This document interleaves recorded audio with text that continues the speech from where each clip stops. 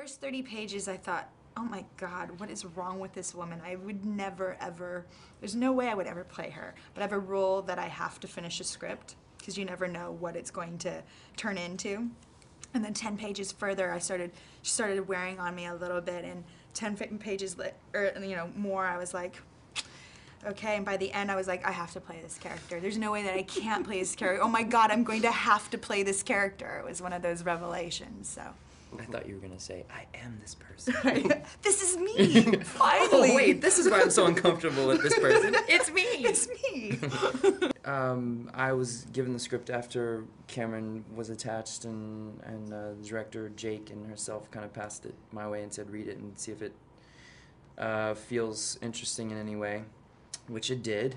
And we had, you know, three or four conversations about the comedy and the tone of the film because uh, because there's there's you know you can go uh, lots of different ways in the world of comedy, which is which is uh, fun, and and so we knew we'd have a lot of fun doing this movie, and, and it was going to be funny and and um, a and, good and then we good, begged him begged him on no, our hands that's not knees. true. that's not true. I did turn them down the. Okay, but I just because I wanted them to beg. so.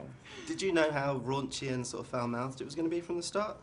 Oh, it was in there. It was in there, yeah. Yeah. There was no, you know, I mean, ad libbing could come easily because you didn't really have to expand much on dialogue other than add a few more, you know, bombs, f bombs, as they say. Yeah, you it's, know? I'm sure it's you know it's it's it's probably really comforting for uh, you know com- coming off. I think y- y- Cameron being in a film that is as classically crass as something about Mary to Mm-hmm. have something like this to go oh if if I can only imagine you know having with the with how that affected a generation Right. um, to go like, well, I probably shouldn't do that again unless I have something that feels equally as as as crass. No, Yes. no, equally as funny.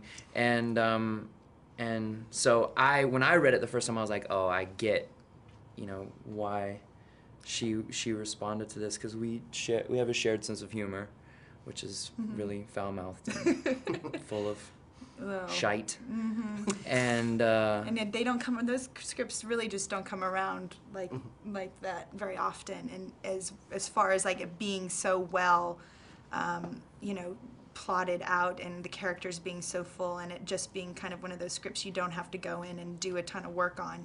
Y- We didn't have to do anything. We just had the writers, Lee and Gene, were there.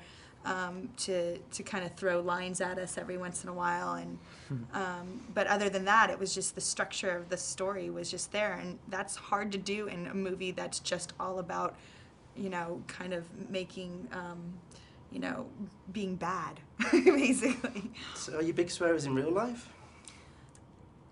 Fuck yeah. Fuck no. I don't fucking cuss. You talk about sort of filming the raunchiest scenes as well. There's a, a fully clothed sex scene and there's Yeah. your great car wash scene. Yes. Are they fun to film? um, They were funny. Yeah, they were funny. It's common. The, there's the great thing about scenes like uh, this. We call it a, the Gene Jam scene, is that you know you can aptly titled. you can sort of play it. You know, there's when you're doing scenes like that, you can play it for like the sensuality or the the love, or you could just play it purely for the comedy. I think uh, I think I think you know when that when I first read the script and, and that that those scenes came up the car wash scene and the um, and the um, other scene um, I, I think honestly you're just looking at two people who really put their bodies on the line for comedy That's right. you know I got injured comedy. I'm not gonna go into detail but I got injured There was high stakes there. yeah Yeah.